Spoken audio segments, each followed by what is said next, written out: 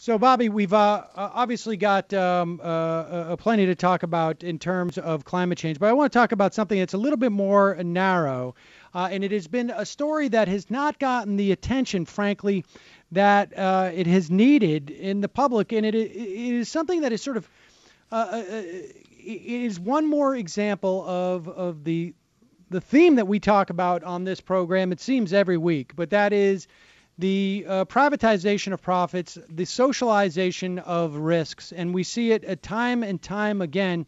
And I know this is a story that is um, uh, really important to you, both because of, of where you live and the and, and the and the years you've spent uh, on on helping revive the Hudson River. Um, but this in this case, it involves uh, train tracks.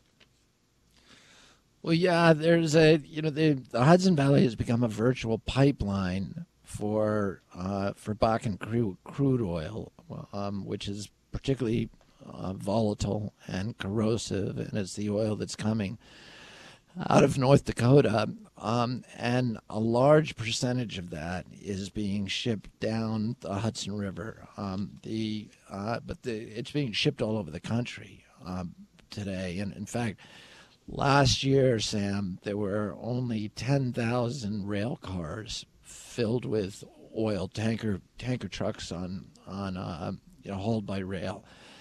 This year, it went up to 400,000.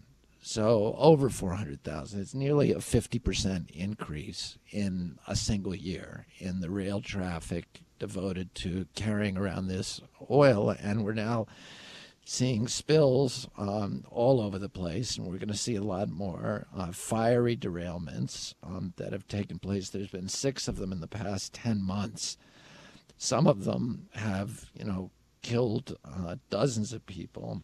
Um, and and there's oil terminals being planned now in in Albany, New York, that we're fighting Philadelphia, uh, St. John's, and New Brunswick, uh, and other parts of the country. And these are controversial for, for a number of reasons. One is they've got uh, very, very dangerous uh, air emissions of benzene, toluene, xylene that we know cause cancer and birth defects, and um, but also because of the dramatic increase in rail traffic containing these um, you know, this new kind of uh, shale oil and, and Bakken crude.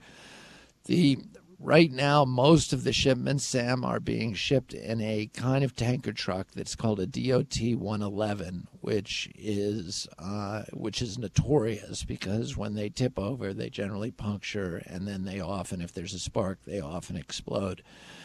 But and the um, and the energy uh, department has recommended that the DOT 111s be banned, but they haven't actually gone ahead and banned them. So the industry is still using them. And one went into the James River in Lynchburg, Virginia mm. last month. Um, we're very worried that one would go into the Hudson River because the Hudson, along the west side of the river, where the rail tracks are, where the freight rail is, uh, it gets very, very deep and there's a uh, part of the Hudson up near West Point, near what, what we call World's End, where the river right next to the track is about 200 feet deep. So if a uh, if a tanker or a, a group of them were derailed there, they would go to the bottom, and there'd be almost no way to recover it. And all that oil, which is very, very toxic, that stays at the bottom. That's very, very difficult to, to clean up would affect the entire Hudson River ecosystem, and uh, as well as the communities, the health of the communities that use the river for drinking water and for recreation, etc. So people are worried about this, and we're particularly worried that they're going to turn Albany into a new rail terminal uh, and even increase the amount of oil transportation coming out of Albany south to New York City than would otherwise occur. So this is, you know, it's one Bobby, of the big wait, let me let me ask you this though. I mean, there's a question that I think like we, we don't we, we we take it for granted that, that there's some uh, societal benefit involved in this. I mean, what what is, I mean, th- what what is the American public gaining for from the increase in these um, in the shipping of uh, these various oils in its in its in its various states. I mean, uh, like what is the big societal benefit that we're supposedly getting? Well, you know, that argument is not a hard one to make, Sam. There's thousands of jobs that have been created in North Dakota. North Dakota has now got the lowest unemployment of any state in our country, and the United States, for the first time since the 70s, is is approaching a um, a period where we uh, we have the potential to be energy independent in the sense that we don't need to be we won't need to be importing uh, uh, Middle Eastern oil into our country or oil from other countries, and that you know uh, that uh, isolated that is a good thing. Um, the problem is that you know that these that we we, we we should be transitioning to uh, energy independence.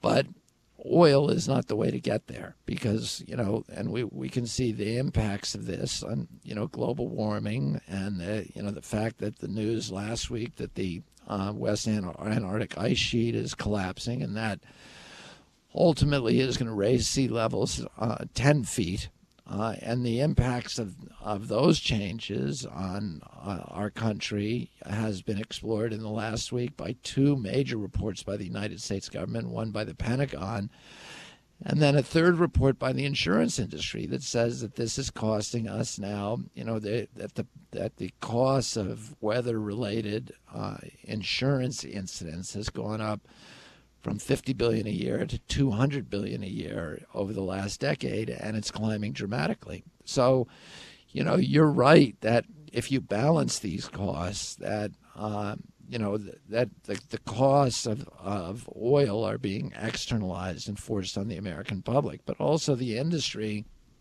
has an argument an appealing argument about why we should be if we're producing oil, which they say is inevitable, which I don't believe and you don't believe, um, and we have good reason to not believe that because we've seen, you know, what we can do with electric cars and what we can do with wind and solar and alternative energy and how much cheaper that is uh, if you look at the externalities. But if you accept the oil industry argument that, um, you know, that if we don't have oil, we're going to be eating cold food by candlelight um, then you know they have a they have an argument that this is creating well, jobs and, I, I got to say I'm still skeptical even on those grounds.